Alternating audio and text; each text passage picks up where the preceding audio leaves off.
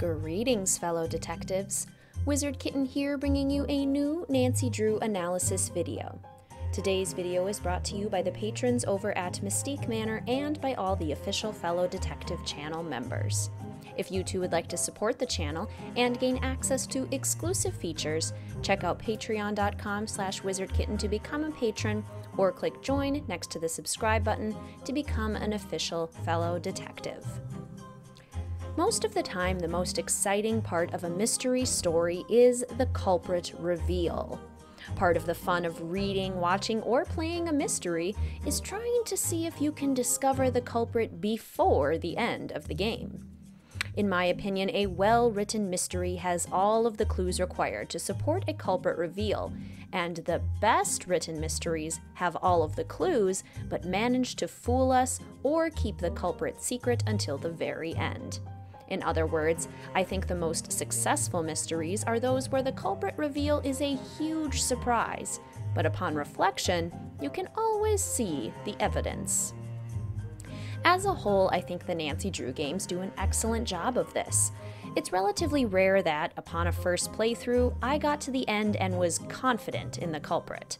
I must admit that part of this has to do with the fact that I played many of the Nancy Drew games when I was a kid, meaning that I wasn't thinking terribly hard about who the culprit might be and was mostly just trying to successfully complete the game.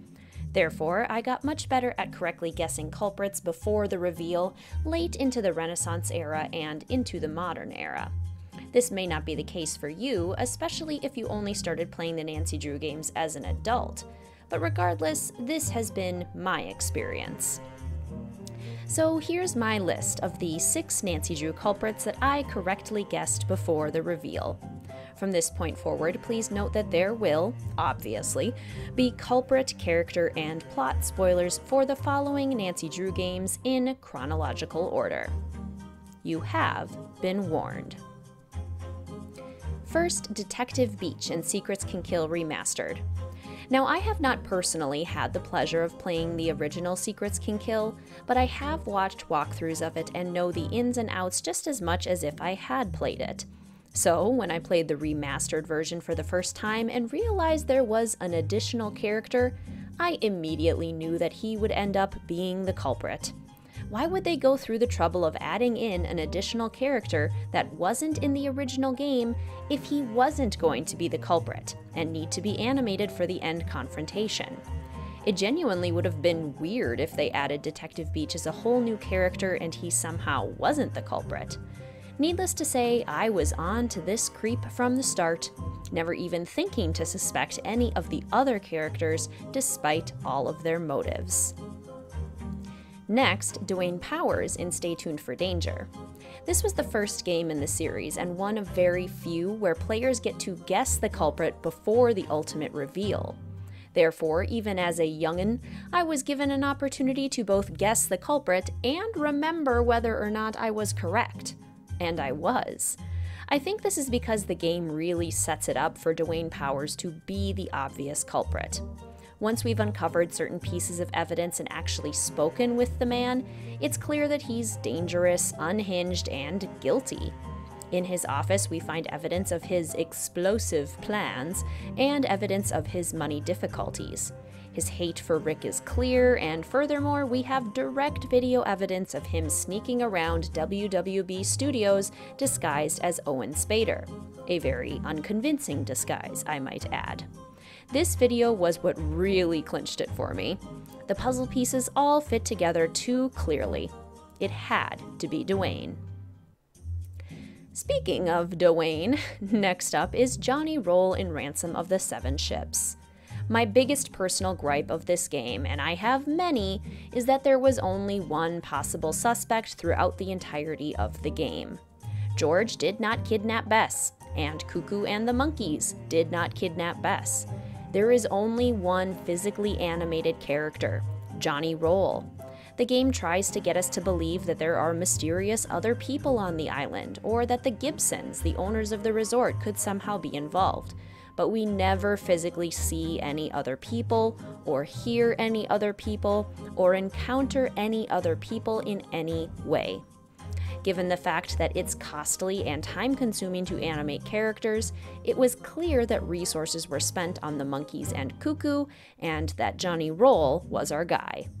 Yes, there is a special reveal that Dwayne Powers was actually Johnny Rolle in disguise, which I did not guess before the end because I had not played Stay Tuned for Danger yet. This is precisely why I do not like returning culprits, but I still maintain that I correctly guessed who the culprit was. It was Johnny Rolle, even if he had a different name by the end. Why Nancy ever trusted him is beyond me. Fourth, Anya Mittelmeier from The Captive Curse. This is another game that allows us to guess the name of the culprit before the ultimate reveal, and I remember very clearly getting it right on my first attempt.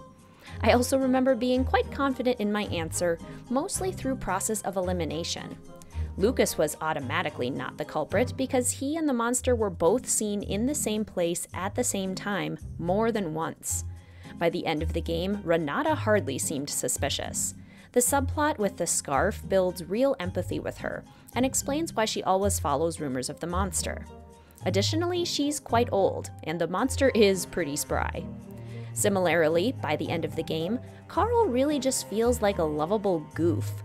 What we do know is that Carl doesn't appear to have lied to us about anything.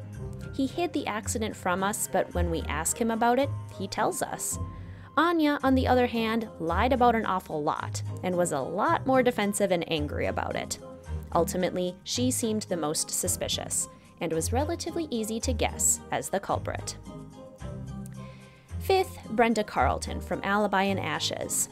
I knew within the first half hour of the game that Brenda was the culprit. Every interaction with Brenda felt like an exercise in futility.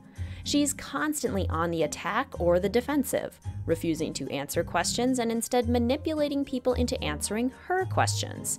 She's disdainful and rude and is literally waiting for Nancy outside of the burning town hall, microphone at the ready. She knew Nancy was inside, and she knew Nancy would be coming out. Everyone else at the scene, Alexei, Deirdre, and Tony, had the decency to at least be surprised when Nancy stumbles out of the town hall, but not Brenda. It was just so obvious from the start that she was guilty, but it was further made obvious when Nancy is able to find evidence against everyone besides Brenda first. Of course, the game wants to elongate the finding of incriminating information, but the complete lack of evidence against Brenda until after everyone else looks sus makes it very obvious that she is actually the one that we should be investigating. Finally, Victor Lassen from The Deadly Device. While I may have known within the first half hour of Alibi in Ashes that Brenda was the culprit, I knew within the first minute that Victor Lassen was the culprit of the deadly device. My reasoning was simple. Never in the history of the Nancy Drew PC games was a phone friend ever given enough attention to be animated. The game starts with the Nancy Drew version of a FaceTime call, with the person who hired us to solve the murder, Victor Lassen. That has never happened before, and it hasn't happened since. It was just so obvious to me that if he was an important enough character to be animated, then he would be showing up at the lab sooner or later, and how suspicious would it be when he did? As the game progressed, all of the evidence we collected only confirmed my suspicions his anger issues, Deirdre's surprise at us getting hired, his weird obsession with the guilt of all the other characters, and most importantly, his opportune arrival right when Ryan discovers that the security video has been tampered with and the murderer has been alerted. He was so suspicious to me from the beginning, but only further confirmed the farther along we got. So there you have it, fellow detectives, the six culprits that I was able to guess before the end of the game.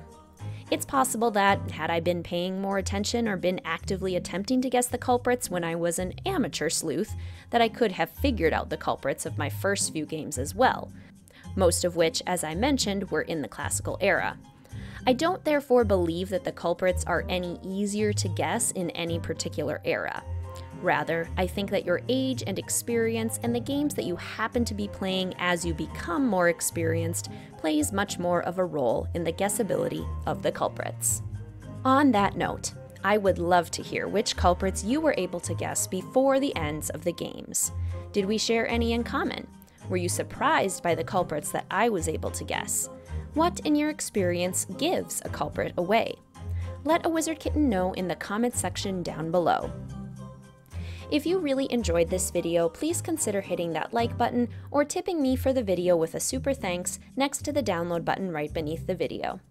If you would like to come join a fantastic group of fellow detectives at Mystique Manor as a patron for the channel, gain access to exclusive content, and support the making of more content like this, please check out patreon.com slash wizardkitten. I also have channel memberships with exclusive badges and emojis to use during streams and in the comment section.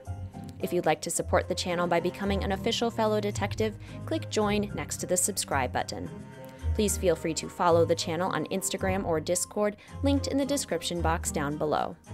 And as always, please feel free to like, comment, subscribe, and hit that notification bell for more Nancy Drew and Sims 4 content. Thank you so much for watching, fellow detectives. I will see you soon.